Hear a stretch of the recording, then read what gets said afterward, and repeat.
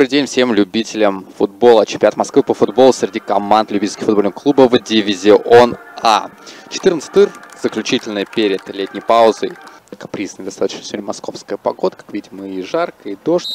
Но, надеюсь, команды нас порадуют искрометным футболом, вне зависимости от тех условий, которые диктует э, погода. Продолжается атака, уже с э, участием Смирнов, который вернулся на поле. Удар издали! И опасно, пожалуй, да, Локомотив уже создает свой первый по-настоящему опасный момент. Футболист Локомотив в чужой штрафной площади на подборе вторым темпом атакует. Локомотив удар издали!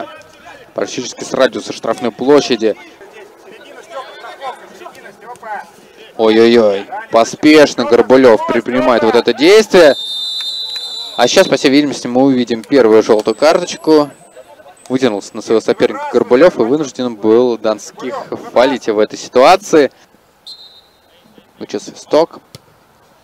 Подача опасная. И есть гол в этом матче. По всей видимости, успел сыграть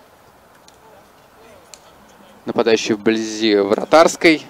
И вряд ли после подачи или удара Тимофея Квасова мяч касался сетки прямым направлением. Атакует Локомотив. Прекрасно разрезающая передача.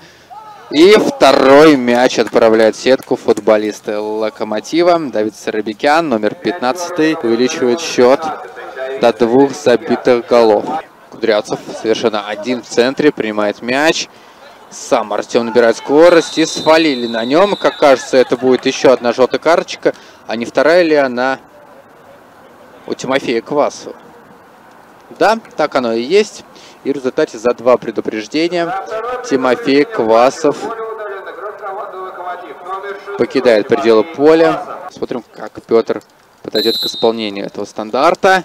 Разбегается, бьет и рядом, рядом со штангой есть пространство.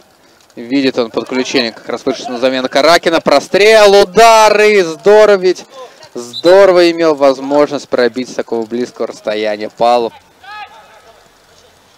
Каракина, здорово. Ских продлевает атаку. Удары! Есть! Есть забитый гол. 1-2 становится счет в нашем матче. Великолепно с острого угла здесь пробивает Артур Каракин. А сейчас Артур записывает на свой счет забитый гол. 1-2. Еще играть очень даже прилично. Лукьянчиков подача. Борьба за верх и гол. 2-2. Великолепно, великолепно на втором этаже разбирается в данном случае Степан Аксенкин и 2-2. Но и Степан Аксенкин выше всех выпрыгнул, неотразим пробил головой. Подача Максима, здорово. И здесь защитники имели возможность побороться за этот верховой мяч.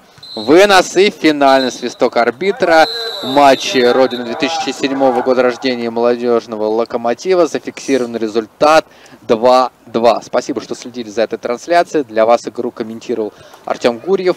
Любите Родину и болейте за своих. До будущих встреч!